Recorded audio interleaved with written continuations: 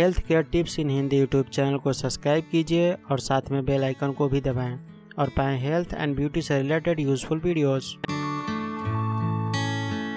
नमस्कार दोस्तों, मैं प्रवीण चौबे, आप सभी का चीर परिचित दोस्त उपस्थित हूँ आप सभी की सेवा में एक बेहद ही महत्वपूर्ण जानकारी को लेकर के।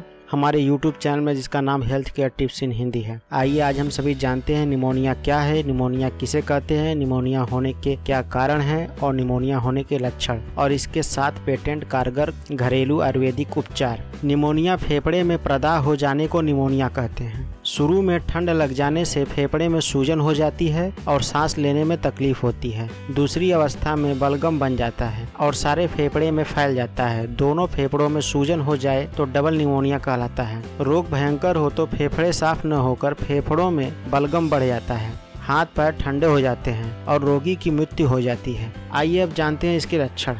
इसे हो जाने पर तेज ज्वर बढ़ता है। पसलियों में पीड़ा होती है, सिर दर्द, पैरों में दर्द, छाती में हल्का सा दर्द, बेचैनी, प्यास अधिक लगना, जीभ सूखी और काली सी हो जाती है, श्वास लेने में कष्ट होता है, खांसी हो जाती है, आदि लक्षण प्रकट होते हैं। चलिए अब जानते हैं इसके आयुर्वेदिक उपचार। निमोनिया होने पर दो रत्ती हींग, एक मुनक्का में भरकर रोगी को कुछ दिन तक खिलाते रहें। निमोनिया ठीक हो जाएगा। अदरक की एक गांठ और 21 पत्ते तुलसी के पीस कर रस निकाल लें और शहद मिलाकर चटा दें। 10-12 बार दिन भर में दें। बच्चों को निमोनिया, श्वास आदि स्थिति में थोड़ी सी हींग पानी में घोल कर पिलाएँ। इससे कप पतला होकर निकल जाता है और दुर्गंध और कीटाणु नष्ट हो जाते हैं। निमोनिया में लहसुन का रस एक चम्मच गर्म पानी में मिलाकर पिलाना गुणकारी है। इससे सीने का दर्द कम होता है। इस रोग में पाचन अंग भरी प्रकार से कार्य करने के अयोग्य हो जाते हैं। उबलते हुए पानी के गिलास में शहद डाल कर रोगी को गर्मा गर्म पिलाते रहने से रोगी दुर्बल नहीं होता तथा सीने